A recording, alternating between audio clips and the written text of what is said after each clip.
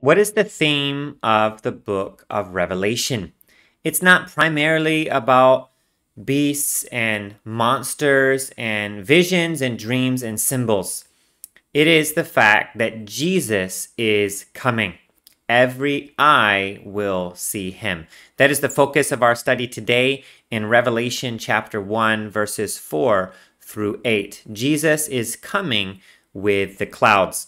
My name is Jason Dexter, and I'm happy to be with you here today to help you as we learn to study and obey the book of Revelation one passage at a time. Let's go directly into the text and read Revelation chapter 1, verses 4 through 8. This is a greeting to the seven churches. It says, John, to the seven churches that are in Asia, grace to you and peace from him who is and who was, and who is to come, and from the seven spirits who are before his throne, and from Jesus Christ, the faithful witness, the firstborn of the dead, and the ruler of kings on earth. To him who loves us and has freed us from our sins by his blood, and made us a kingdom, priests to his God and Father, to him be glory and dominion forever and ever. Amen. Behold, he is coming with the clouds, and every eye will see him even those who pierced him. And all tribes of the earth will wail on account of him. Even so, Amen.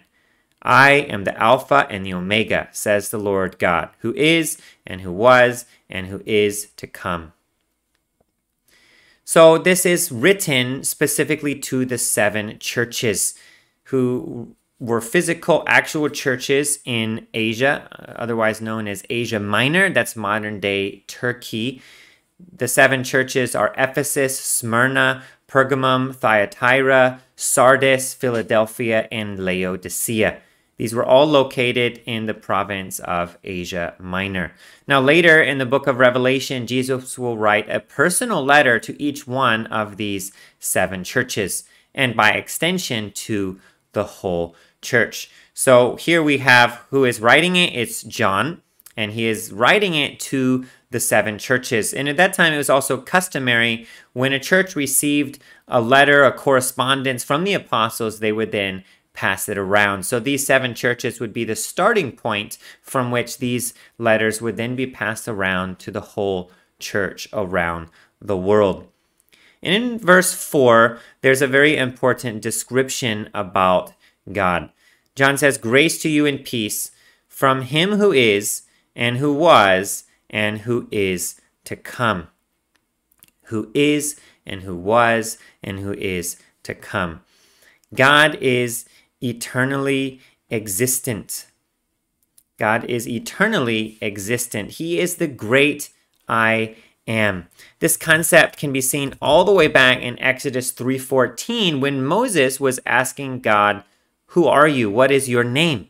And God said to Moses, "I am who I am." God is the only being in the universe who exists forever of his own accord, by his own power. He has no beginning and no end. Nothing caused him, and he is the cause of everyone. This is one of those facts in the Bible that boggles my mind. I can remember even back when I was a child, I would try to wrap my mind around the fact that God had no beginning. How is that possible? How can something exist forever? And after thinking about it for decades, I can tell you, I still don't have the answer. I don't understand. And that is one thing that makes God God, and we are not. We cannot comprehend Him.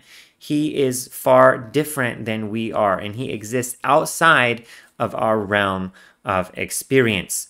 But this specific statement that He is and was and is to come has profound implications as we study the book of Revelation. It reminds us that these events are set in stone. Genesis is history. God already made it happen. But this verse says he is also, he is and he is to come. So Revelation is just as much history as Genesis is in God's perspective. In the early days of America as a nation, there were many deists. Uh, Thomas Jefferson was a famous deist. Now, deists believed in God, but they believed in a different God than the God we see revealed here and elsewhere in the Bible. They believed that God created the world and set the events of history in motion and then withdrew. He just made it and put it there, and then he withdrew and he just became a passive observer. He wasn't involved in actual things going on in this world. That is how they viewed God. Something like a clockmaker who builds a clock and designs its mechanisms and then uh, starts the pendulum swinging and then sells it and has nothing more to do with it. But this verse reminds us that God is not like that.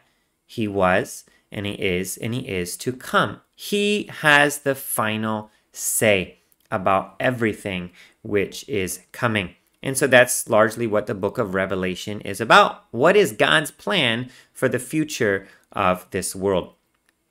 Now, verse 4 also has an interesting phrase. It says that it is from the seven spirits who are before the throne. Now, these seven spirits are mentioned four times in the book of Revelation. Each of the other in three instances refers to these as the seven spirits of God. Now, the Greek word for spirit here is pneuma. It can mean wind or spirit or breath. Now, the most normal use is when the word holy is attached to pneuma, and then it taken together, it means the Holy Spirit. Now, there are various interpretations of what the seven spirits of God refer to. As we go through this study of Revelation, we will find there are many other mysterious things like these that we don't fully comprehend. It could refer to the Holy Spirit Himself. Seven is used in the Bible over 800 times. And many of these references to the number seven are in Revelation. Seven is often used to denote something that is perfect or complete. The very first example in the Bible is creation, which took place in seven days. So, this could be a way of referring to the Holy Spirit. The Holy Spirit is perfect and complete. We of course know there is there are not seven Holy Spirits, there is only one Holy Spirit. As Ephesians 4 4 tells us, there is one Spirit. Some see this as a reference to what they would call the sevenfold ministry of the Holy Spirit, which can be seen in Isaiah 11 2. And the Spirit of the Lord shall rest upon him, the Spirit of wisdom and understanding, the spirit of counsel and might, the spirit of knowledge and the fear of the Lord. So, according to this interpretation, there would be seven ministries, a sevenfold ministry of the Spirit. And you have, okay, they would say the Spirit of the Lord and the Spirit of wisdom, that's two. The Spirit of understanding, that's three. The Spirit of counsel, four. The Spirit of might, 5, the spirit of knowledge, 6, and the fear of the Lord, 7. This would be a rather obscure reference if this is the case. And also there's one small issue with this interpretation is the last six make sense, but the first one, the spirit of the Lord. So they would call the spirit of the Lord as being one of the sevenfold ministry of the spirit. Whereas if you really look at this text, it looks like, okay, there's a spirit of the Lord, and this spirit has then a sixfold uh, ministry mentioned. So another possible reference is that it could just be seven spiritual beings. There are seven spirits. We don't know much else about them. Maybe they're not described elsewhere and not described here very much. So there would be seven spirits before the throne. And we cannot quite be sure what the ministry of these seven spirits are. Uh, we do know also there are seven churches shown by the seven lampstands, so perhaps they would have some ministry to the church around the world. Uh, in the end, the first or the third option, perhaps this is the Holy Spirit, or maybe there are seven spiritual beings, which we don't fully understand right now. Probably one of these could be the correct interpretation. Uh, like many other things in the book of Revelation, we cannot be dogmatic about it. Going on to verse 5, it says that it is uh, the greeting is also from Jesus Christ, the faithful witness. So Jesus is described as a faithful witness. Jesus came to preach the kingdom of God. Over and over, especially in the book of John, Jesus is recorded as declaring the Father to the people. He was bringing people to the Father, he was letting people know the Father. As such, Jesus was continually a faithful witness. We can also see this in John 1:18. It says, "No one has ever seen God. The only God who is at the Father's side, he has made him known."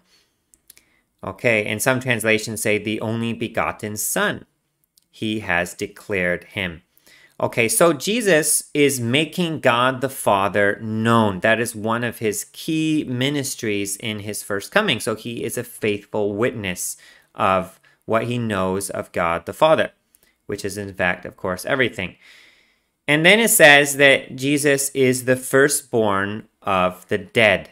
The firstborn of the dead. Jesus' resurrection to a glorified body is the first of many. Just as the first fruit on a tree is a promise of more to come, so Jesus' resurrection is a foreshadow of what is held in store for the church. 1 Corinthians 15, Paul describes this resurrection and the hope that it gives us because Jesus was raised from the dead. That gives us hope that we too would be raised from the dead. Because Jesus received a new glorified body, so we too will receive a new glorified body. Colossians 1 17 and 18 says the same thing. It says that he's the beginning and the firstborn from the dead. Now, Jesus is also mentioned here as ruler of the kings on earth. Now, if you may recall, Satan once offered Jesus the kingdoms of this world. He says, Bow to me, worship me, and I'll give you the kingdoms of this world. But Jesus did not need to take this route to be king. He is already the King of Kings. Now, at his first coming, Jesus did not exercise his divine right as king. Pilate asked him about this, and he said, My kingdom is not of this world. But at the second coming, Jesus will exercise his right and his role as king, and then he will be seen by everyone as the king that he is. And then the next phrase in this verse says that to him who loves us and has freed us from our sins by his blood, to him who loves us. Now, when you study the book of Revelation, it can be frightening. There are plagues, there are judgments, there are disasters. We see God's wrath, we see God's justice against sin. So it's important for us to remember as we go through this book from the very beginning to see Jesus is loving. Jesus is loving. First, we can avoid his wrath when we trust in him. And secondly, we should remember that even many of these judgments serve as warnings to induce people to repent and to turn to him before it is too late. As they see these prophecies being fulfilled right in front of their eyes, they have more and more opportunities to repent and turn to God. So he is a loving God. So we will see this throughout the book of Revelation. He's just, but he is also loving. And then it says that he has freed us from our sins by his blood. Revelation is a depiction, of course, of Jesus' wrath against sin and his justice. And we must view these events side by side with the cross. We don't need to face this justice, this judgment we don't need to face the wrath of God because Jesus gave his life to set us free. If we will but admit that Jesus is Lord, if we will but repent of our sins, if we will but turn to him and say, Forgive us, he's there with welcoming arms. He will forgive. He wants to forgive. We can experience the love of Christ. So, Revelation is really also a book of a choice. You can experience God's judgment or you can experience His love. If you choose to continue your sin and reject Jesus as Lord, then you will experience the judgment. But Jesus already took that judgment onto himself, so you don't have to. If you just would come to him, believe in him, and ask him for forgiveness, then you can experience that. We have a choice. And this is the cosmic battle between good and evil, Satan and God. Which side do we want to choose? Then it says that he made us a kingdom of a kingdom priest to his God and Father. He made us a kingdom priest to his God and Father. I'll read a verse from 1 Peter 2 9. It says, But you are a chosen race, a royal priesthood, a holy nation, a people for his own possession, that you may proclaim the excellencies of him who called you out of darkness into his marvelous light. Every believer is a priest to God. Priestly duties include worshiping God, sacrificing to God, and instructing the people in the ways of God. We too are to worship God. We are to be a living sacrifice for God. And we are to function as His representatives to invite the people of this world into His kingdom, to preach to them the gospel so that they too can be saved. And then it says, To him be the glory and dominion forever and ever. Amen. In fact, he is glorious. Our belief about that, our public acknowledgement of that will not change the fact. Someone can say, I don't believe that. Uh, maybe it's true for you and it's not true for me. No. Truth doesn't change depending on whether you believe it or not. He is glorious. His dominion is the entire universe. This is the absolute truth. Now, that fact will not change whether you embrace it or whether you deny it. But it's our job as a kingdom of priests to recognize and affirm this. Then we publicly declare it to be true. So we say, yes, God is glorious. Yes, he has dominion. We live that out as we give him dominion in our life and as we invite other people into his kingdom. Now, one day, that truth will be made manifest to the world as Jesus is revealed, the revelation of Jesus Christ. Before then, it is our privilege to announce this truth to the world and to ascribe him the praise and the glory that he deserves. Then it says in verse 7 Behold, he is coming with the clouds, and every eye will see him, even those who pierced him, and all tribes of the earth will wail on account of him. Even so, amen. He is coming with the clouds. The theme of Revelation Jesus is coming. He will be revealed for every eye to see. Now, this idea that he is coming with the clouds is not a new one. It's repeated throughout Scripture. We can see that in Daniel 7 13 and 14. I saw in the night visions, and behold, with the clouds of heaven, there came one like a son of man. Okay, with the clouds of heaven, there came one like the son of man in Acts 1:11. This is after Jesus' ascension uh, into heaven after his resurrection. An angel came and said, "Men of Galilee, why do you stand looking into heaven? This Jesus who is taken up from you into heaven will come in the same way as you saw him go into heaven." Jesus' second coming will be from the air with the clouds. Now, this is distinct from his first coming. In his first coming, he was born as a baby. He wasn't revealed to everyone. Some people saw that. Uh, Mary was a witness, Joseph was a witness, the shepherds were witnesses, the wise men were witnesses, and the shepherds went and told people about him.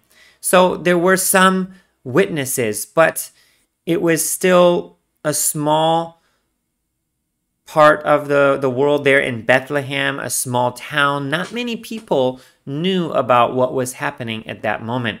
The second coming will not be like that. It will be more visible, more spectacular. The event will clearly be supernatural. If there is any doubt by anyone before this, this revelation of Jesus coming in the air with the clouds will silence any possible doubters. I don't know about you, but sometimes when I'm outside on a beautiful day, I look up and I see sometimes very amazing cloud formations. And these remind me Jesus is coming again. And sometimes when I see an especially unique cloud formation, I wonder could this be it? Could this be the time Jesus is coming again? Well, those clouds, at least they could be a reminder to us that one day Jesus will return. As the rainbow reminds us of God's promise never to flood the whole earth with water, so the clouds in the sky can remind us of his promise that he is coming again.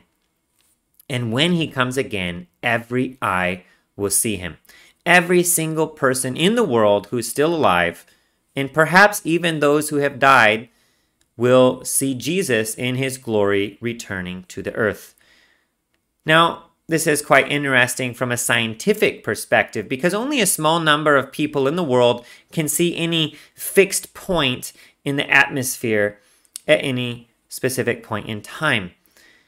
For example, in the town that you are in, if you could see Jesus above your town, then people in other towns seemingly would not. But that's from a scientific perspective. This will clearly be a supernatural event. He will miraculously enable every person on earth to see him at the same moment. Is this a sad occasion or a joyful occasion? Now, sadly, for many, it will not be a joyful occasion. Most people, it says, will wail on account of him, will wail at his return. It's the wailing of guilt and shame, knowing that they miss the chance offered. There's a great fear of punishment at that time, the certainty of impending doom, which is brought about because of their sin and their pride in knowing there's no more chance and they're going to face judgment. So for some, this will be a very sad occasion. And here's a foreshadow of what we will see in the rest of Revelation. Even after so many clear signs, prophecies, supernatural events which point to, to Jesus, huge numbers of people will still reject him and follow the evil ruler of this world. What's the application for us?